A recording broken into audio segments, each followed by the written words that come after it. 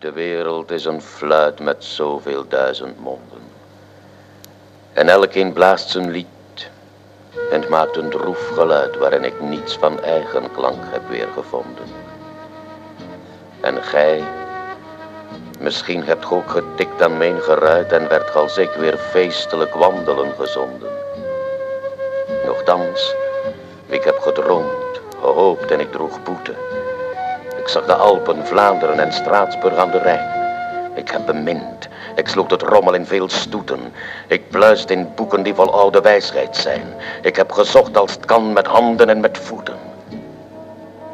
En slot, ik hield daaruit als onontvreembaar deel den troost van eigen lied.